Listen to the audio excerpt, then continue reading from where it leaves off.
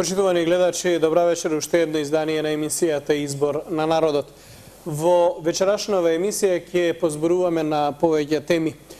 Ќе започнеме со извештајот на Европската Унија, па потоа малку ќе опфатиме бегалската криза, односно мигрантите и сето она што Македонија го спроведува како новитет во бегалската криза, па потоа ќе се навратиме и малку на Министерството за внатрешни работи. Сметам дека вечерва имам компетентен, компетентен соговорник на оваа тема. Тоа е универзитетскиот професор Зоран Филиповски. Добра вечер. Добра вечер. Милвам. Еве веднаш да започнеме со извештајот на Европската Унија. Помина веќе скоро десетина дена од како го добивме извештајот на Европската Унија. Во него има условна препорака за отпочнување на преговорите да. за Европската Унија. Што тоа значи од ово извештај и како тоа може да се толкува? Па, јас морам да кажам дека ово извештај всушност е најлошиот извештај што Македонија го има добиено во овие изминати 6 години. Прво, заради фактот што до сега комисијата имаше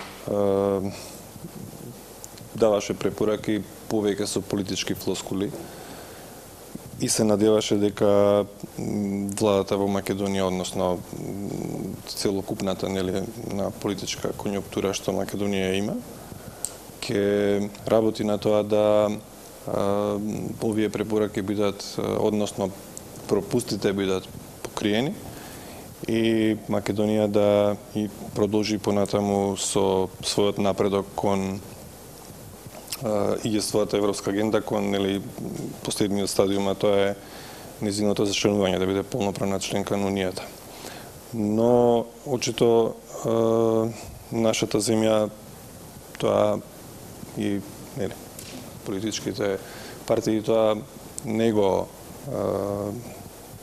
сватија или пак а, не обрна премногу внимание на таквиот, да не кажам, пријателски однос на Унијата кон Македонија. И како последица на сето тоа, Унијата донесе оваа година ваков извештај како што го имаме и како што го знаеме. ние јас и порано зборував дека кога разговаравме за претходните извештаи, дека веќе Македонија има руинирани се руинирани копенхагенските критериуми и дека тогаш мислам дека реков дека владата ќе излече поука и мудро ќе работи понатаму за да се поправат тие негативности. Но во овој извештај тоа веќе еклатантно е кажано. Најголем најголеми недостатоци има сушност во поглавијата 23 и 24, односно правосудство и фундаментални права и правда, слобода и безбедност или постаро правда и внатрешни работи. Меѓутоа, она што е ново во овој извештај е тоа што а, Унијата веќе квантитативно или, ја става тежината но на што е направено, а што не е направено и оние термини кои што ги употребуваше во сите поглавја, сега ги става на почетокот кога зборува и за политичките критериуми. Односно ја оценува ја оценува подготвеноста на Македонија по два на, на, на две полиња. Едното е напредокот на земјата, а второто е усогласеноста на незиното законодавство. А, во однос на усогласеноста на незиното законодавство, Европската Унија дава позитивни а, заклучоци.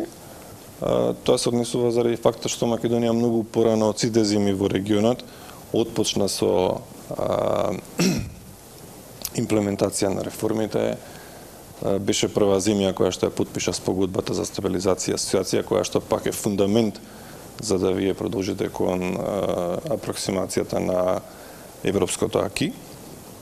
Додека она второто каде што се работи за напредокот на земјата кон која што кој, кој што ќе биде пресуден за низиното зачленување во Европската унија, Таму оваа година, за жал, се констатирани уназадувања и тоа во фундаменталните области кои што кои што всушност се сегмент од Копенхагенските критериуми, а тоа е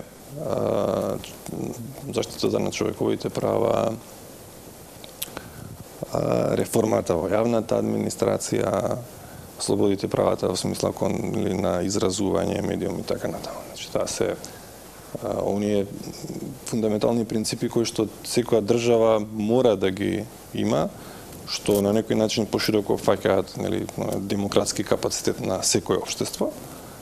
А Европската унија во своето а, друштво а, не прифаќа земји кои што таквиот демократски капацитет го немаат на исторам нешто како што ги имаат земјите членки. И морам да кажам дека ова не е условена предпоставка, ова е препорака. Македонија всушност во моментов нема препорака. Значи ние тоа мора да го расчистиме. условеноста на препораката не значи ништо. условеноста на препораката всушност е мотив да политичките партии, односно политичарите во Македонија, изнајдат сили да работат заедно за да можат оние реформски зафати кои што Македонија не ги направила во овој период, а морала да ги направи, да во покус временски период бидат реализирани. Затоа Европската Унија дава оваа сепак политичка одлука во која што кажува дека Македонија има условена препорака. Што значи се до тоа? Велите нема препорака, Македонија има условена препорака, односно Македонија ќе се разгледува низината препорака веднаш по 24 април таму, веднаш после предвремените парламентарни избори кои што ги договорија политичките партии во пржино од договорот 2 јуни 15 јули. Што значи се тоа? Дали ова е нешто што е пракса во Европската Унија или ова е исклучок и преседан? Па е преседан. Ако реков дека нема препорака, мислев дека нели секогаш унијата некаде октомври ноември дава извештај кој што дава препорака за секоја држава каде што и каде се наоѓа и што се треба да направи за да нели биде асоцијативен член и дава препорака да се отпочнат преговори за членство во Европската унија, да. Тоа ми беше и меѓутоа Македонија тоа сега го нема.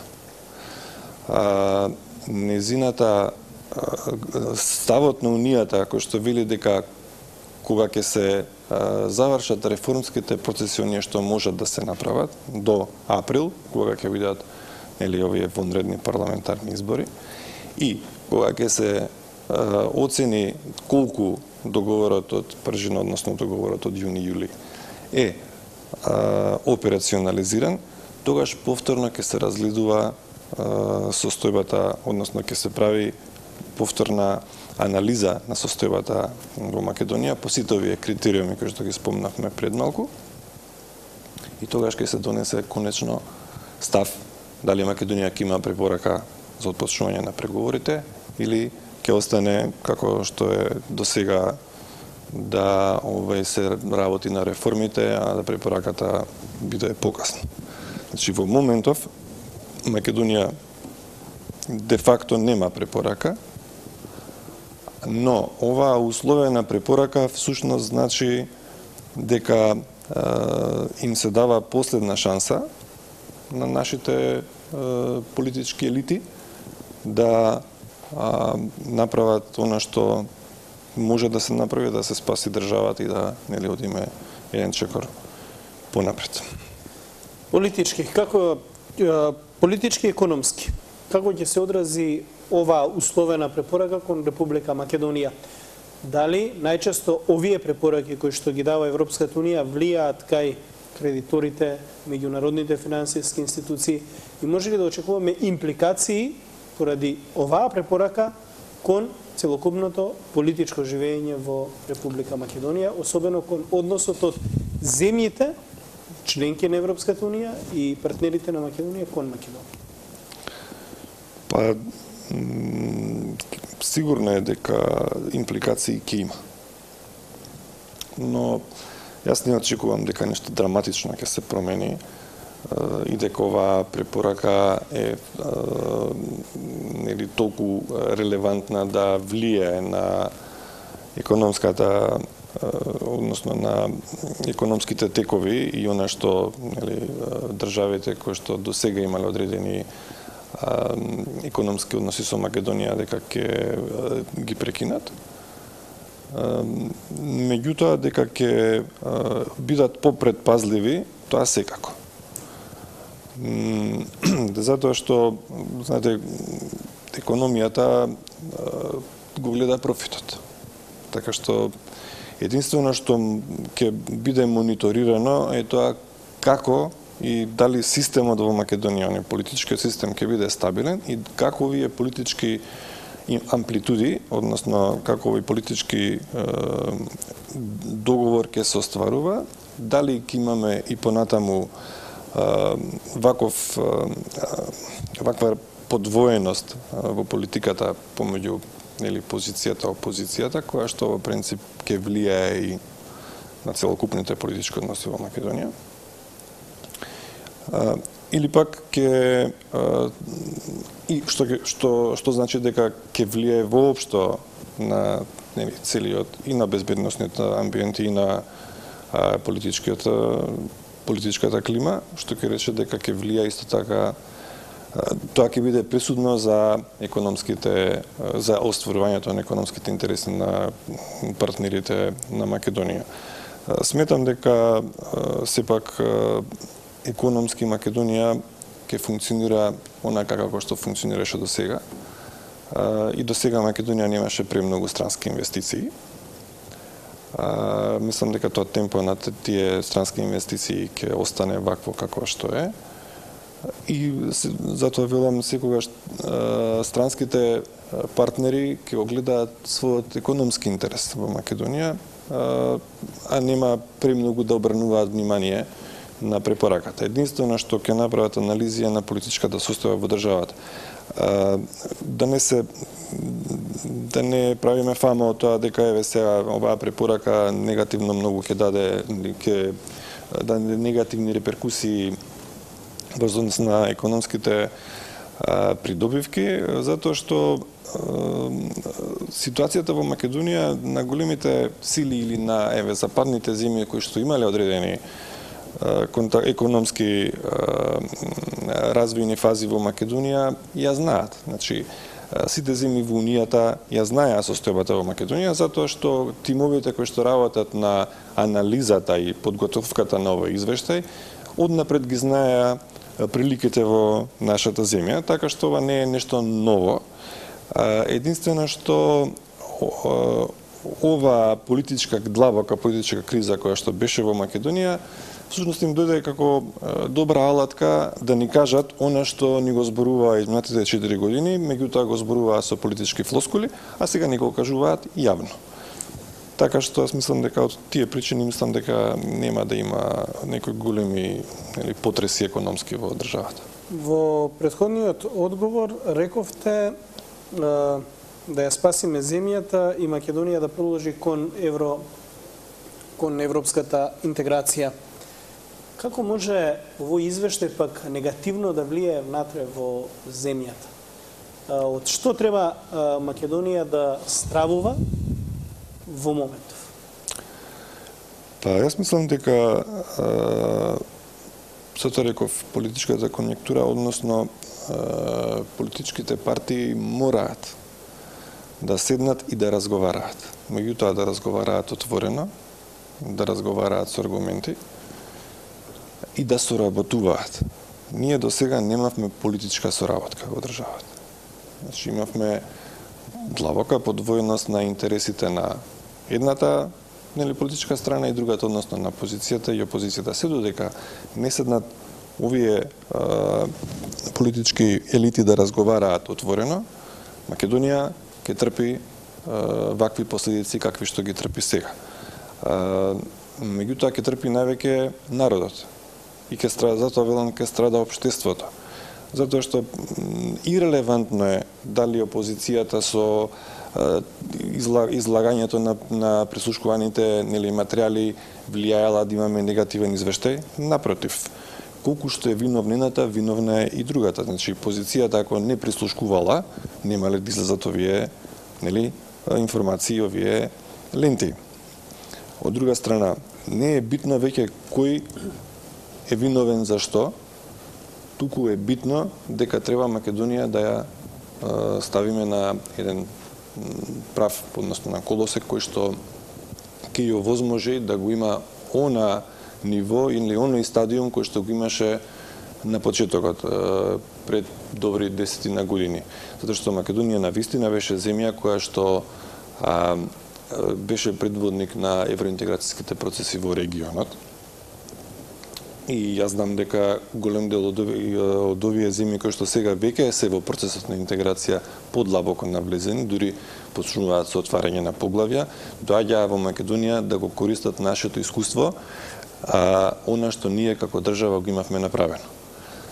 А, и затоа велам дека а, мораат да седнат и мораат да се договорат за доброто на државата и доброто на народот да ги трнат тесно градо, тесно партиските интереси и набедувања кој е прав или кој сгрешил, а кој Колку македонските политичари ја имаат одговорноста кај себе? Дали сметате дека тие се објективно одговорни личности, бидејќи сега пред малку споменавте да ги трнат тесно партиските интереси, сметате дека ќе успеат во тие нивни намери? Не сум сигурен, морам да признаам. Меѓутоа, мислам дека процесот на овој договор од јуни, јули или како што сите го нарекуваат пржино е само почетен чекор на притисокот на Унијата и на Соединените Американски држави да се воспостави еден понормален диалог. Притисокот од надворешните фактори, значи од големите сили и од Унијата ќе биде уште поголем и уште по интензивен Затоа што тие се свесни дека оваа криза не може да се надмине туку така. Еве ова се, се гледа веќе и од соработката на одредените министри во владата на Република Македонија, односно а, антагонизмот кој што веќе се појавува помеѓу замениците министри министрите од позицијата и опозицијата.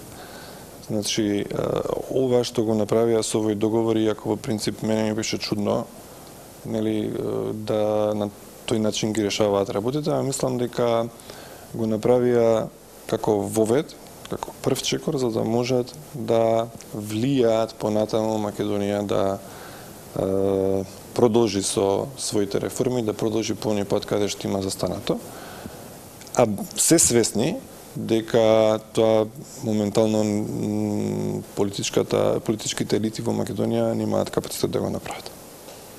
Велите немаат капацитет овие политички елити да го направат. Дали сметате дека е дојдено време да се изроди нека нова политичка опција која може би ќе ги свати посериозно обвинувањето од страна на Европската Унија и дали односно препораките од страна на Европската Унија, од страна на меѓународните партнери на Република Македонија и дали сметате дека во Македонија има капацитет кај одредени луѓе да се справат со овие предизвици и да се обидат да ја преземат работата во своји раце? Па, Македонија има луѓе кои што имаат одреден капацитет, не одреден, него имаат капацитет да се справат со овие проблеми. Јас не сум поборник на тоа да е, кажувам дека ќе има една трета опција која што ќе може да нели ги ги е, разреши работите дека ќе може да се фати со коштец во коштец со проблемите, дека ќе биде толку јака за да може да надвладее над овие две политички партии кои што се етаблирани од нели осамостојувањето на Македонија. Значи и позицијата и опозицијата си имаат свое стандардно членство, кое што гласа и, и не верувам дека некој нов политички субјект ќе може да ги загрози едната и другата. А, такви опции имаше и предходно. Се јавуваа партии, се јавуваше нели она као една партија од центарот која што ќе може се до тоа да го амортизира, но видовме или од сите тие големи услуби какви се партии излегоа. Сите тие беа на некој начин а, лампиони на едната или на другата политичка опција. Македонија не е голема земја за да може да има 4-5 политички партии со една иста јачина кои што ќе можат нели да се менуваат на власт затоа што суштина нема токав број на, на граѓани, нема или имаме ние 2 милиона луѓе. Така што тие 2 милиона луѓе можеме да ги поделиме на 4 партии и овој во тие партии да се или да ја, да ја градиме демократијата. Така што јас не очекувам дека некоја нова политичка опција може да направи драматични промени во политичкото милје во Македонија. Ова прашање го постави веќе полека да отидеме кон делот на професионализмот. Колку политичките партии, овие на власт што се, ги следат европските текови? и колку ставаат професионалци на вистински места или се обидуваат професионалците да ги маргинализираат, да ги стават на една позиција, па се обидуваат нешто да комбинираат и квалитетните кадри да ги тргаат на страна. Јас мислам дека самите интелектуалци не сакаат да влегуваат во некои политички а, ајде да не кажам игри, ама да бидат на некој начин политички жртви, затоа што се свесни дека не можат да направат премногу, односно не можат својот капацитет да го прикажат, затоа што секогаш имаат одредени рамки во кои што можат да се движат. Значи, нашите е, политички елити мора да сватат дека луѓето што ги ставаат да раководат со одредени ресори мора да имаат одврзани раце за да работат пред се како професионалци, односно да ги почитуваат законите и позитивната легислатива на државата, значи да работат професионално.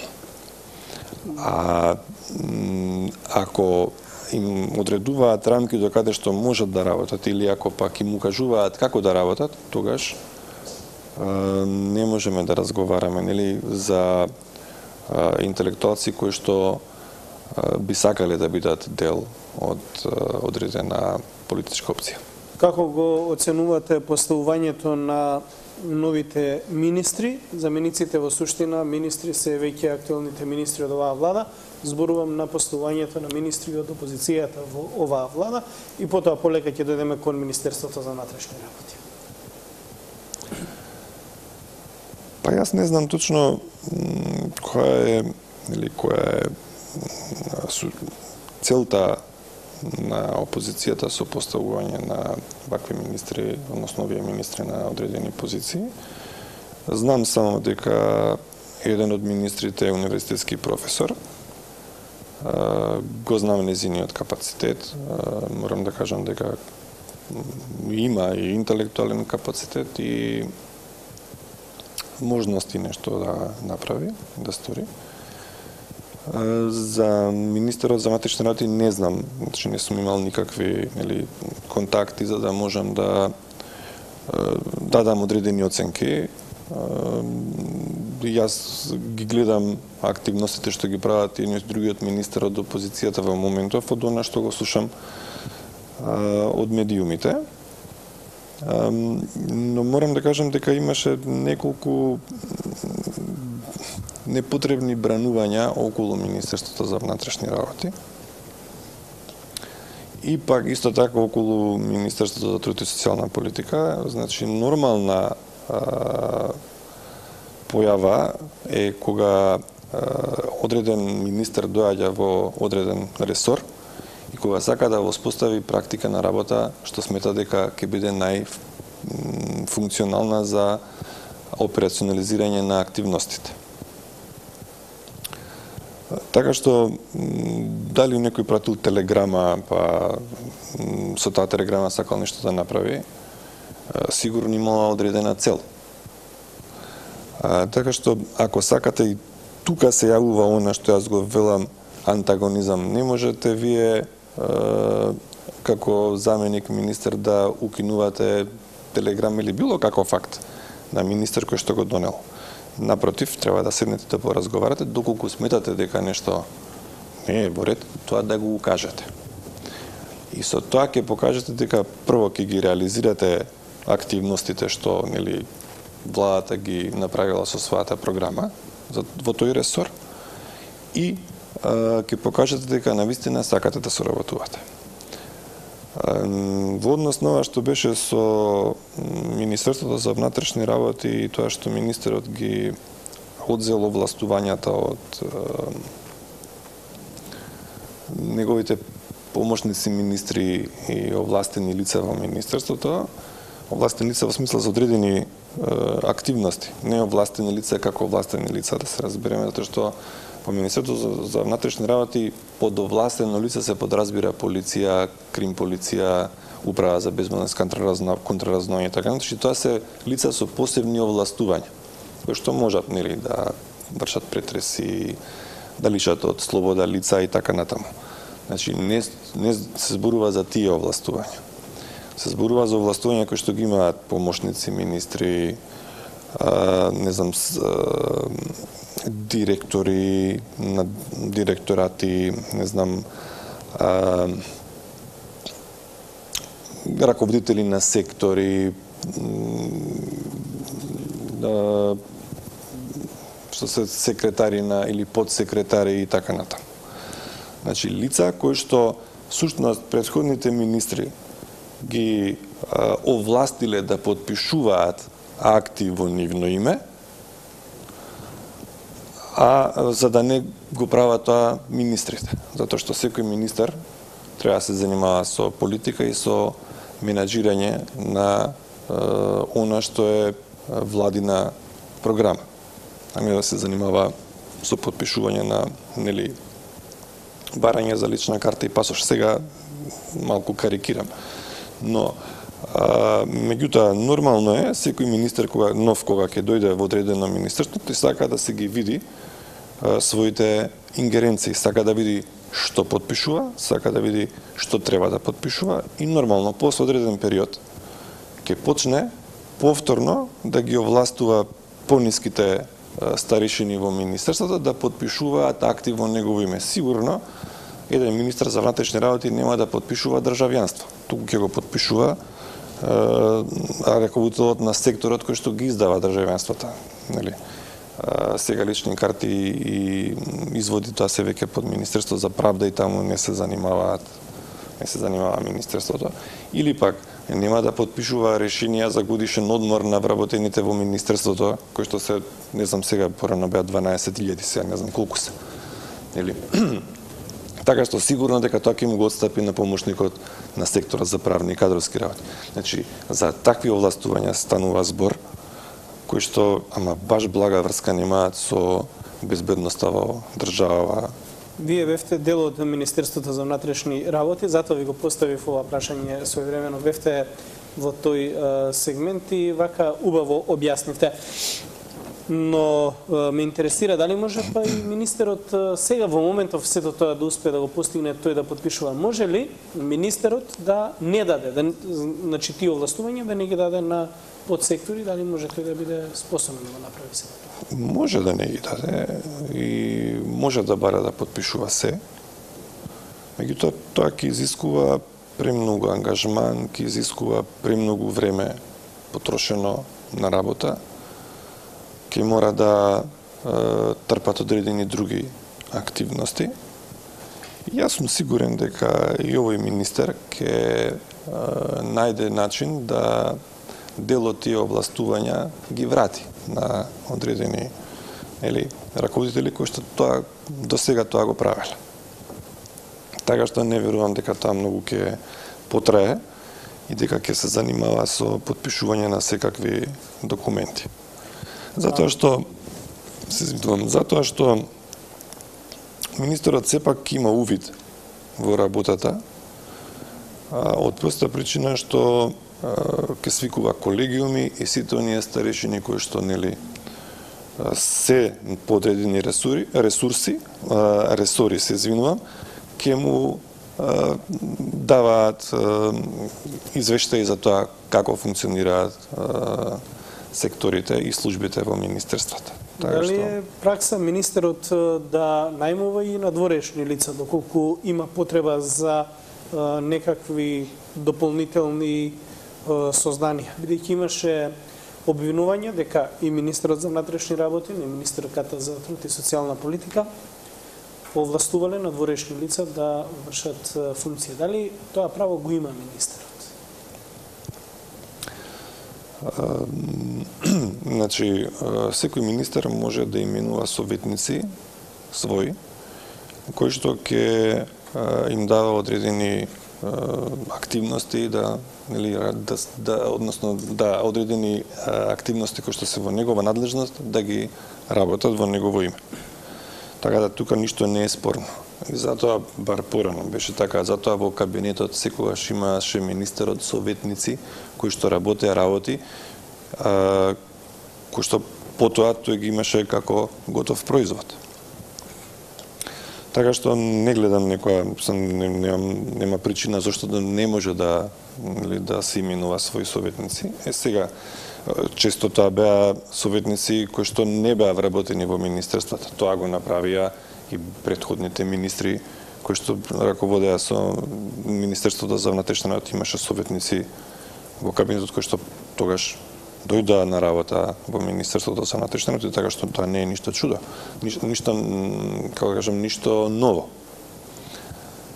А во однос на надворешните советници, министерствата имаат право тоа да го направат например, кога се носеа спорувам порано или кога ќе се носат законски текстови, секогаш се немуваат надворешни соработници тоа да го проверат, да дадат свое мислење. Тоа беа најчесто универзитетски професори, како делови од комисии кои што даваа своји мислење на законските текстови кои што понатаму пак се преработуваа во службите пред да заминат или на одобрување во владата и во собранеска процедура. Така да не гледам јас некоја нели некои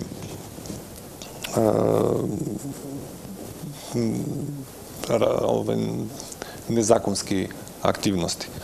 Сега, по принцип, не знам точно што правеле министрите и какви советници, односно какви надворешни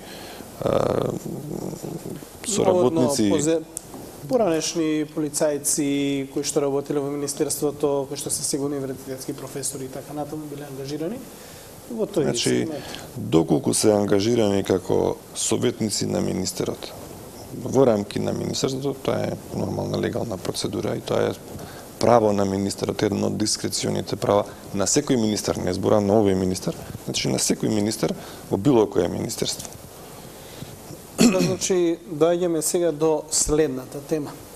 Околу Министерството за внатрешни работи, околу безбедноста во Република Македонија. Дали именувањето на министри значат и нарушување на капацитетот на Министерството за внатрешни работи, односно полициските службеници и оние лица кои што се директно засегнати за грижење за заштита на граѓаните на Република Македонија?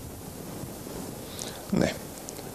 Значи, ниеден министер не може да направи упад во безбедносниот систем на државата, затоа што тоа го прават служби кои што работат на тоа. Значи, заштита на уставен поредок си работи службата за безбедност и контраразузнавање, за заштита од криминал, организиран криминал си работи дирекцијата за безбедност за јавна безбедност односно Биро за јавна безбедност, кој што има директор. Така што тие служби си се на некој начин нели тие соработуваат со министерот, даваат информации на министерот. Меѓутоа министерот не може да влијае на службите, нели како тие да да работат, односно не може да им ја смени методологијата на работа. Затоа што е, таа методологија на работа е, е фундирана врз основа на професионализам, врз основа на нели одредени квалификации, вие за да откриете одредени кривични дела, мора да го знаете модусот на операнди, значи мора да имате одредени познавања од криминалистика, криминологија, да напишете една кривична пријава, мора да имате познавање од кривично право, од правото, така значи не може министерот со одредена политичка одлука да ја смени активноста на работата на службите кои што особено на службите кои што се задолжени за безбедноста на државата. Значи тој може да именува и да разрешува функционери што работат со тие служби, но никако не може да да влие на оперативноста на тие служби. Јас мислам дека сега со овој договор од јули и јуни или како сите го викаме пржино, сум дека такви ингеренции министрите немаат, туку имаат ингеренции да воспостават нели она реформски зафати за да се подготват изборите. Така што јас не очекувам дека ќе има некои драстични промени во министерството кои што ги имаат овие нови министри мораме да опфатиме дел и за најновите случувања. Бегалската криза, мигрантите. Тука сте исто така на ваш терен. Ме интересира ваше размислување. Колку Македонија е подготвена да се справи со мигрантите и колку е подготвена реално да, да биде заштитник на надворешните граници на Европската Унија, бидејќи Случувањата во Париз покажале дека дел од терористите кои што ги извршија поминале и низ Република Македонија како мигранти, односно. Веднаш морам да кажам дека тие терористи не поминале само низ Македонија. За да стигнат до Франција, го поминале тој цел коридор кој што всушност кој што поминува и низ Македонија. А, миграциите не се нешто ново, не се новина за Република Македонија. Миграциите постојат од години на назад. Значи, Македонија со миграциите почна да се занимава поинтензивно од 2000 година па наваму. Значи, имавме миграции кои што беа фундамент за развој на трговијата со луѓе. Кога криминалните организации видоа дека нивното финансиско портфолио не може да им се зголемува од овој тип на организиран криминал, премина кон промена на нивното, нели, на нивното делување или модус на операнди, како сакате, и почна да се занимаваат со криумчарење на мигранти. Затоа што тоа беше многу поефикасен бизнис за нив, во смисла што тие добиваа пари веднаш, односно пред да отпочне нели тој цел од на мигрантите од земјата на нивното државјанство до земјата на нивната крајна дестинација. Така што затоа велам Македонија бидејќи е на средиште на коридорите исток север југ и исток запад имаше таков тип на миграциони движења многу од порано. На крајот од крајшта сите знаеме дека кога беше војната во Југославија голем дел од бегалците беа сместени во кампови во Македонија. Тоа беше на терет на државата, и неспорно и државата не можеше да се справи со тој бегалски или со тој со тој бегалски бран, па имавме авиолинии кои што низ кои што транзитираа низ Македонија дел од тие бегалци подеа во западните земји. Или пак имавме финансиски финансиски донации од земјите за да можат тука тие да обстојуваат така што сметам дека ако тогаш тоа не влијаеше на безбедносната ситуација во Македонија, нема ова да влијае ни сега, уште повеќе што ние ниту имаме во Македонија отворено бегалски кампови, ниту тие престојуваат во Македонија, туку овие бегалци или, или мигранти само транзитираат низ Македонија. Така што е сега, а, нормално е дека пропусти во безбедносните проверки ќе има. Зошто велам безбедносни проверки? Затоа што вие кога ви доаѓаат мигранти во земјата, правите одредени проверки, меѓутоа тоа се проверки кои што не се е, длабоки. Зошто велам? Затоа што вие кога имате мигранти кои што бараат е, азил во државата, тогаш вие како земја ги правите сите проверки за тие лица, да, да проверите зошто доаѓаат во Македонија, зошто бараат азил, дали се терористи, дали имаат кривични дела, дали на вистина се прогонети заради одредени своји политички обедувања, дали на вистина нивните нивниот корпус на човекови права е загрозен и така натаму и така натаму. Правите анализа на државата од каде што доаѓаат, правите анализа на економската состојба од државата од каде што доаѓаат. Така да, тие анализи Македонија не ги прави сега затоа што тие мигранти не бараат никаков статус во Македонија, че значи не бараат азил, не бараат статус, ниту пак статус на бегалец, туку едноставно транзитираат низ нашата земја. Така што не мислам дека Македонија има преголем удел на ова што се случи во Франција.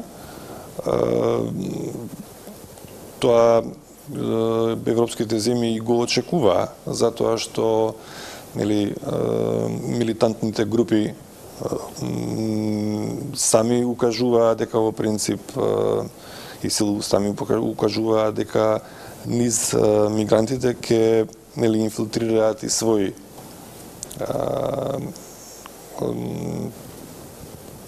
тај терористи, да кажам, лица кои што ќе извршат терористички акти во земјите од Западна Европа, особено оние кои што имаат инсталирано своја воена сила и кои што или вршат воени, односно воздушни напади на нивната земја, односно на нивната територија.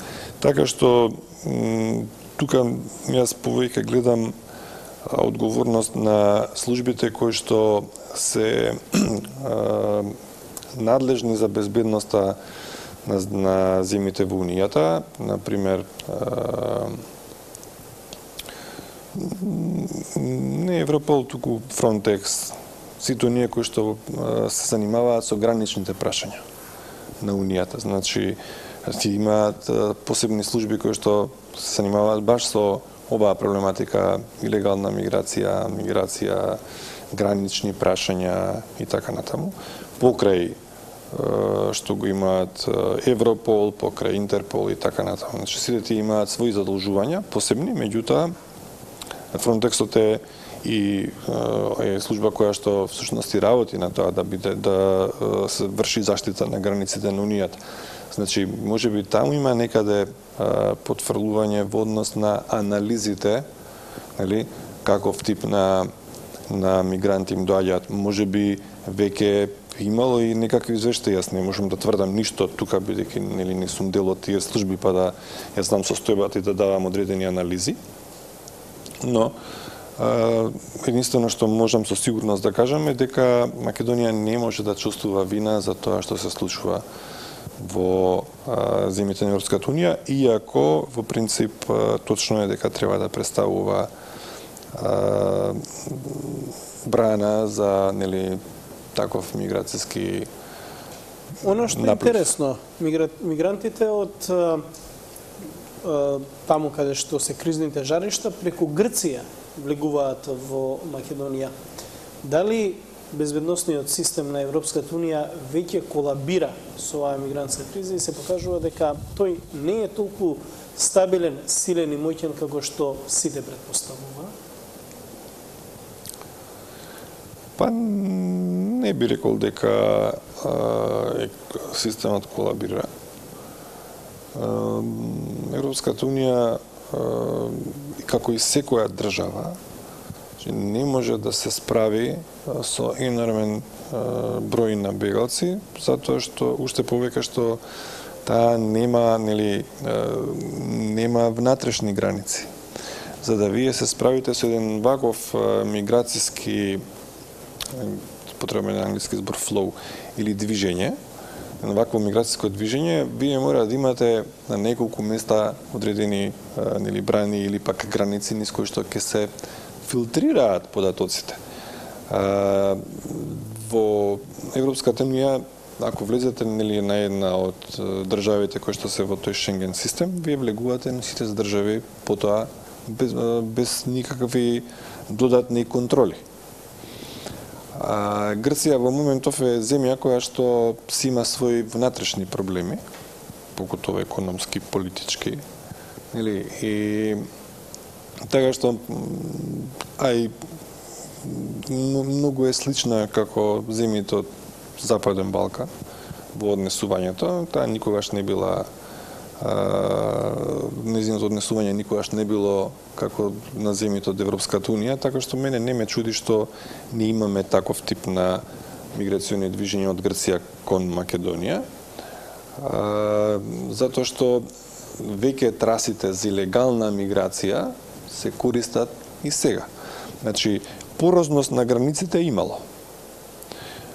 Но тоа не е само виновни се нели граничните служби на соседните држави, виновна е и Македонија.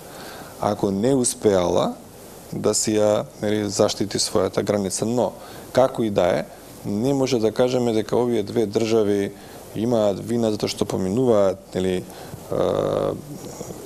мигранти низ тие места каде што што кои се надвор од граничните премини. Значи, зборувам за места кога што илегално се преминува границата, затоа што вие не можете да ја тампонирате цела граница, херметички да ја затворите. Така што е, нормално е дека во илегалните миграциони движења, па и во ова и овие миграциони движења, е, е, разликата е сега уште, да кажам, сега им е уште полесно новие мигранти што влегуваат во државите затоа што тие влегуваат легално на гранични премини тие покажуваат дека се мигранти, дека сакаат да заминат. Нели, некаде дека се бегалци уствари и вие како држава морате да ги заштитите.